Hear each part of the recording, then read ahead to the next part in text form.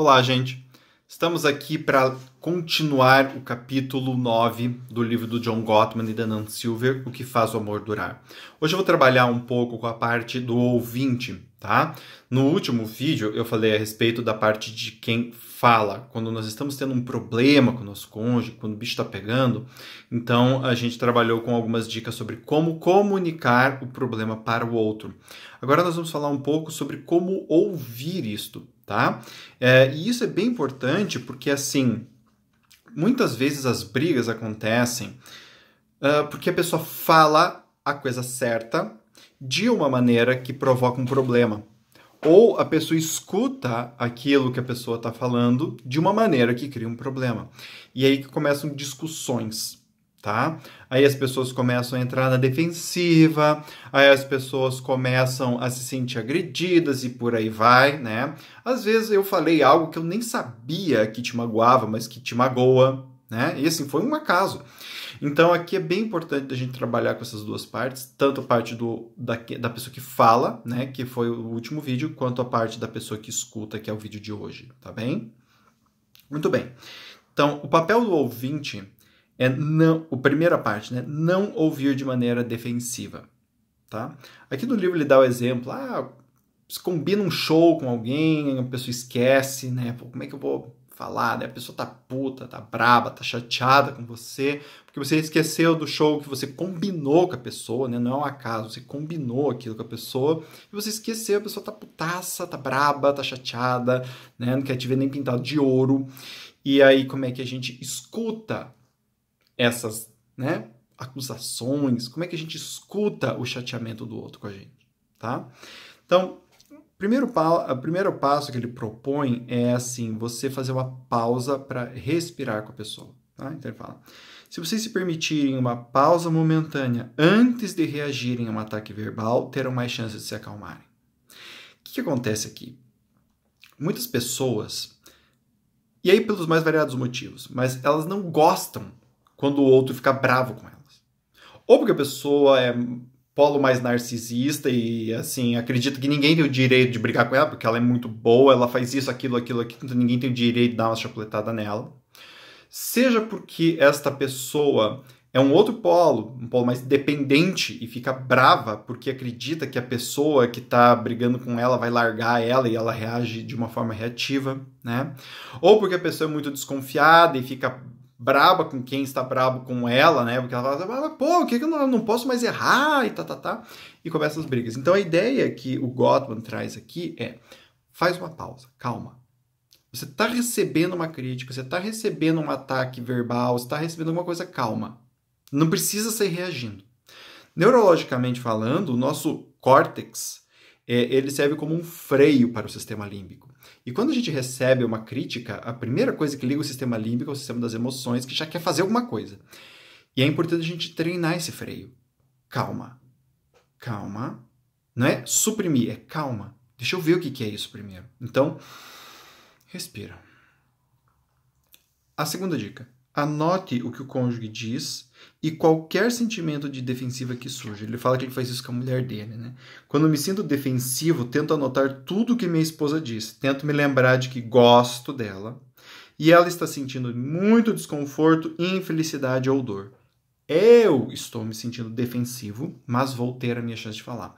Então, primeiro a gente escuta e tenta anotar, é literalmente anotar ah, Kim, eu tô numa situação que eu não posso pegar um lápis ou a caneta. Tá, ok, tenta anotar aqui. Tá? Ouça. Primeiro ouça tudo. Depois você pensa se você realmente vai ter que se defender ou não. Mas para eu poder fazer isso, eu tenho que sentir, perceber que eu já estou ficando defensivo e que eu não preciso fazer isso agora. Eu posso fazer isso daqui a pouco. Tá entendendo? Lembrem-se do amor e do respeito. Invoquem a profunda e eterna afeição e o desejo de proteger o outro. Digam para si próprios: Nesse relacionamento, não ignoramos a dor um do outro. Eu tenho que compreender esta dor. Tentem separar sua raiva e sua irritação da visão geral que tem do relacionamento. Então, quando a gente está sendo atacado, a gente fica em visão de túnel. Atacar, atacar, atacar, sair daqui, sair daqui, sair daqui. Calma, respira amplia. Ok, calma. Sim, a gente tá tendo uma briga, assim, tá sendo chato ouvir isso, mas calma, eu amo essa pessoa, eu tô aqui por ela, ela tá aqui por mim, ela já fez um monte de coisa boa para mim, eu já fiz um monte de coisa boa para ela. Calma. ok, ela tá me falando isso, isso, isso e aquilo. Tenta fazer este movimento. Tá entendendo? Ao invés de já sair dando chapuletado, chapuletado para se livrar logo do problema e sair correndo. Tá? Muito bem. Assimilação em vez de resolução de problema. Siga o exemplo dos pais instrutores da minha pesquisa anterior e evitem julgar a raiva, a tristeza ou o medo do cônjuge. Não digam, se anime. Você é sensível demais. Não é tão ruim assim. Você não pode ficar desse jeito. Né? Todas as emoções e todos os desejos são aceitáveis. Não são aceitáveis todos os comportamentos. Tá? Tem a diferença aqui. Então, eu posso entender que você está com um desejo e eu posso conversar com você sobre esse desejo. Agora, se esse desejo vai se tornar um algo concreto ou não, já é outros 500. Por exemplo, eu me lembro de ter atendido um casal que uma vez a gente ficou discutindo a respeito do desejo de um deles em ter uma relação com uma outra pessoa, uma relação sexual com uma outra pessoa. E eles conversaram sobre isso. Óbvio que foi difícil. Mas isso não foi para o ato, não foi para o comportamento. Então, é possível eu estar casado e sentir lá o desejo sexual por outra pessoa. Agora, eu transformar isso em atos, aí é diferente. Então, é importante entender que a gente aceita o sentimento, a gente aceita coisas que acontecem, porque isso é normal, isso acontece na vida psíquica. Né? É óbvio que isso pode mexer com a gente. Então, a pessoa pode falar assim: bom, às vezes eu tenho vontade de transar com outra pessoa e eu posso ficar triste, chateado com isso. Né? Então, todas as emoções têm um lugar tá? Não todos os comportamentos. Muito bem. Uh... Ok. Aqui ele dá um conselho, né? Que é assim: não tenta resolver. Não tenta resolver o problema. Tenta ouvir. Quando as pessoas estão. Aqui eu vou citar ele. Quando as pessoas estão chateadas, é comum que as emoções negativas se enfileirem, como um dominó. A primeira cair é a raiva, que expõe o medo. Quando o medo cai, a tristeza fica aparente. E se a conversa acaba antes que o cônjuge exponha todos os sentimentos, as emoções negativas inexploradas vão causar problemas. Então o que, que acontece? A pessoa traz um problema, o cônjuge já quer ir resolvendo logo. Isso é muito comum entre homens. Tá, vamos resolver, tá? Mas muitas vezes o mais importante não é resolver logo o problema. Porque às vezes aquele problema é a ponta do iceberg. E às vezes nem a própria pessoa que está comunicando isso sabe. Muitas vezes a gente não sabe. Muitas vezes a gente está brabo, irritado com alguma coisa, a gente diz, eu nem sei do que eu estou irritado, sabe? Eu ouço isso toda semana em consultório. Eu não sei, que eu estou meio para baixo, ou eu estou meio com raiva, eu estou meio alegre, e nem sei por que eu estou tão alegre assim. Tá? Então, às vezes, a gente não tem consciência plena, consciência racional plena, do que está causando alguma emoção na gente. Então, se a gente vai logo para a resolução de problemas, a gente pula essa etapa de ouvir e dar a chance desses outros sentimentos aparecerem. Por isso que ele dá esse, essa dica. Né? Escute bastante, assimile o problema. A hora que tudo tiver sido dito, aí se torna possível fazer alguma coisa. Tá? Muito bem. A última parte é receber com empatia ok? Então, aqui ele estava falando da, a respeito da, da pesquisa dele, né? Uh, e ele fala assim: os sujeitos que acertavam as reações do companheiro com mais exatidão mostravam leituras fisiológicas quase iguais aos dos outros durante o exercício. Estavam vivendo, vivenciando a fisiologia do outro como se fosse sua. Essa descoberta tem implicações profundas para definir confiança. Identificar as recompensas do cônjuge requer uma empatia tão profunda que chega a ser física. Ele está falando lá de um. Assim, o que, que, ele faz? Ele entrevista os cônjuges, né? E faz várias perguntas, e os cônjuges expressam emoções. E aí ele pergunta para um cônjuge o que, que ele está sentindo, o que, que ela está sentindo, e vai anotando isso. Né? E ele percebeu isso. Que aqueles que demonstravam maior empatia com o outro tinham uma conexão muito grande, que é o que ele fala aqui, estavam vivenciando a fisiologia do outro como se fossem suas.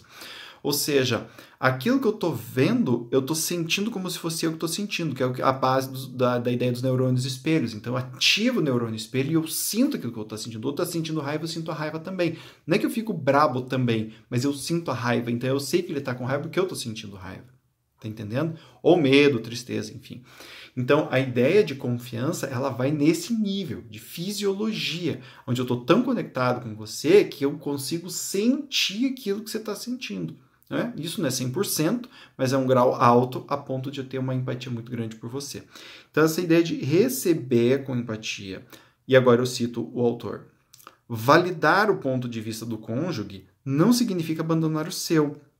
Significa apenas que, diante da experiência do outro, vocês compreendem porque ele ou ela tem esses sentimentos e necessidades. A validação é um componente tão fundamental da afinação que, em suma, sem ela é como fazer sexo sem amor. Olha que profundo, né? Então, o que, que acontece? Essa ideia de eu tomar e receber para mim com empatia, neste nível profundo, o que o outro está falando, não significa que eu vou concordar com o que a pessoa está dizendo, mas significa que eu vou receber isso. Por quê? Porque isso é o outro. Eu posso até discordar, mas eu vou receber isso do outro até para a gente poder lidar com isso. É deste jeito que essa pessoa vive, não daquele outro desta forma, não daquela. Então eu vivo aquilo que o outro me traz do jeito que o outro traz e com isso eu consigo ouvi-lo plenamente, tá?